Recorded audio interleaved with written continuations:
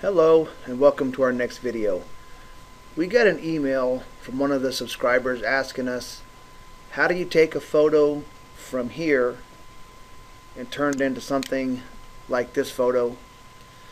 Um, basically, do I throw old photos away or photos that I don't like away? And the answer to that is no, I never throw uh, old photos away. One of the things I like to do, especially on like rainy days, really hot days when I'm stuck indoors, when I don't have my camera in my hand, is to go through some old photos and look at them and see if there's some way I can change them.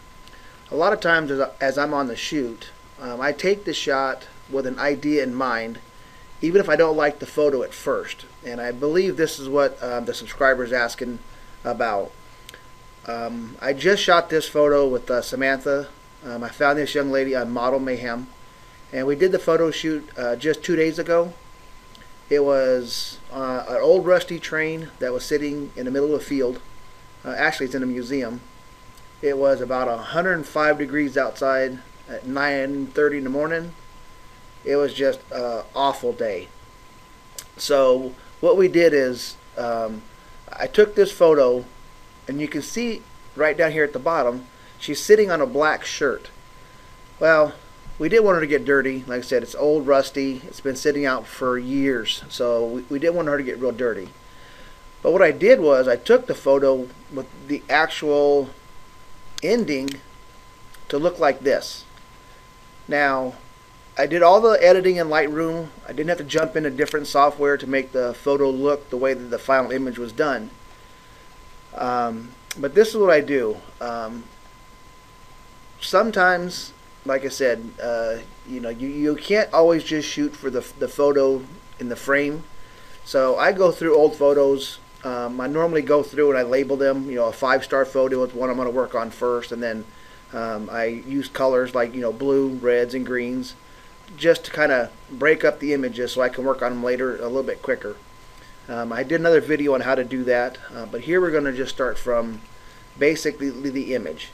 So what we're going to do is I'm going to show you how to go through some of your old photos or photos like this that you've taken and you want to make it look like what you saw in your head when you took the picture even though you may not like the way the photo looks right now.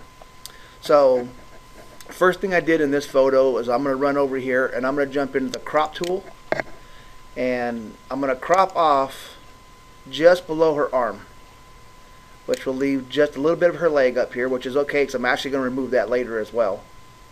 And I'm going to pull this side over just to the inside of her thigh. So what I've done now is I've actually placed her eye a little bit closer on this line here, which is on the rule of thirds. Now, when I took the picture, this is what I had in mind. And then just click done.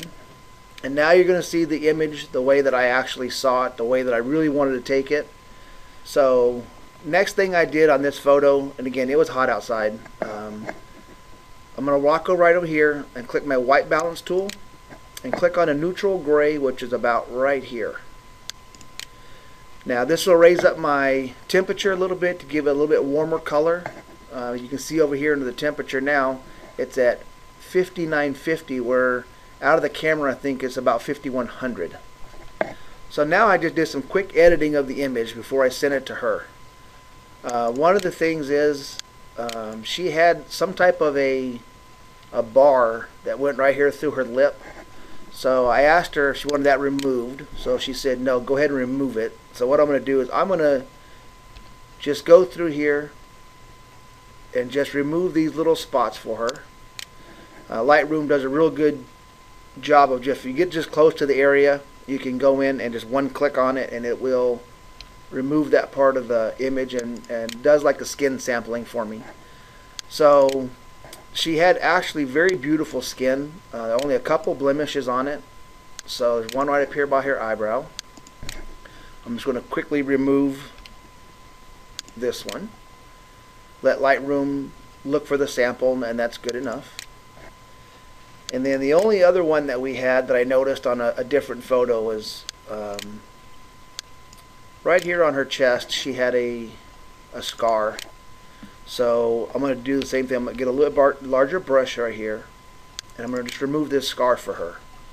And that's basically all I had to do. So now we're back to the, the main image, the way that I envisioned it before I took the photo. So now what I'm going to do is go through the adjustments here and just make some real quick adjustments to get the, the final image without having to drop uh, from one software to another. Um, what I'm going to do here is contrast. I'm going to raise this about 10. Highlights, shadows, I'm going to leave the same. Whites, leave it 0. Blacks, I want minus 20, which will darken up a little bit of the train, a little bit of her outfit, the stripes of her shirt. Clarity, um, I put a little bit of clarity, clarity in all my images. So I'm going to put about 10 on that one. Uh, vibrance, I want this in, really what I want is more the rust color. So I'm going to put these also at both 10 for vibrance and saturation.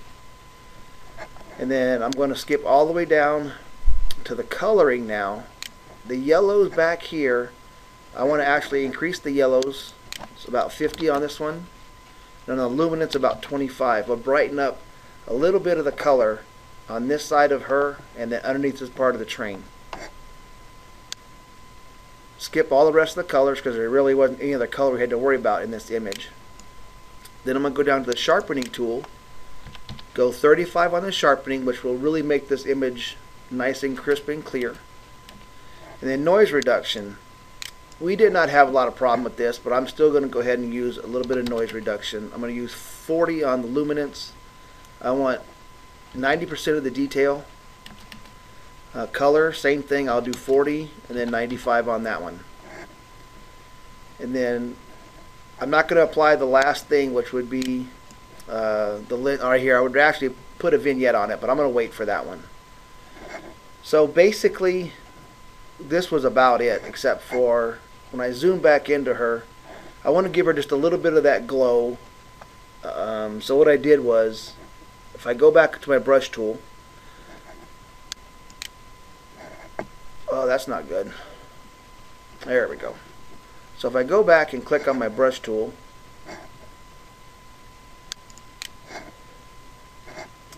then I'll go up here under the effects, under skin softening. I'm to leave everything basically right about where it's at. Um, I just need a, a, decent sized brush, but I also make sure I want to have the feather on it so that I don't overspill the image. And all I'm going to do is just paint around her, her face and her arms and her, uh, right here on her chest and smooth out her skin even more without having to use a third-party software. So all I have to do now is just run this quickly right over her her skin and you'll see Lightroom does a really nice job of smoothing out her skin for us. So just really quick, it doesn't have to be perfect because I have the, just keep the uh, the tool inside the skin with the feather on it, you'll actually be able to work a little bit faster. You know, I could use this. Normally, I could I would ex export this to either Portraiture or even uh, the Nik software Color Efex Pro to do the final image, but here I don't need to. Her skin was actually very good. And when I'm done, just click the done button. And basically, this was all I had to do for the image for her. So you don't, you know, on days whenever it's really rainy, uh, when it's too hot to have your camera in your hand, go back over and look at some of your photos and see if you can't just change the perspective a little bit. Will give you a much cleaner image or something that you didn't have before. Um, you know, you you know, it's it's actually not too hard to do.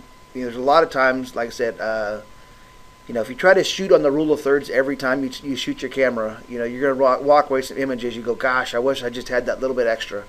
Well, for me, sometimes, like I said, when I have to use something for her to sit on, lay on, it's something I don't want in the image, I still use that same idea, but I just crop it out later, and, and this is really how to do it. Um, one thing I like about working with a professional model like this young lady, Samantha, is she makes it very easy for you.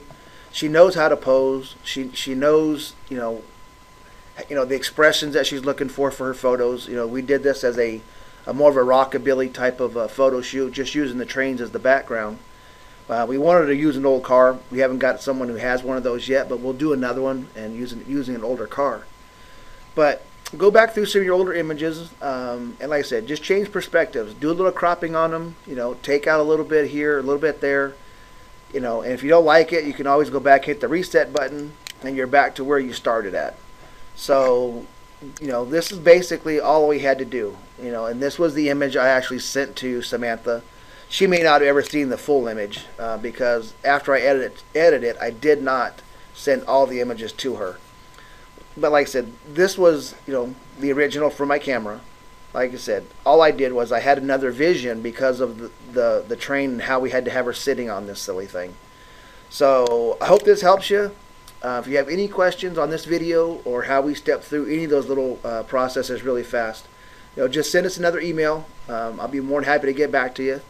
And I'll put Samantha's Model Mayhem number down there for you. Um, you know, if you're looking for a, a top model, you know, that is, a, um, you know, if you're in her area, I would highly recommend you use her.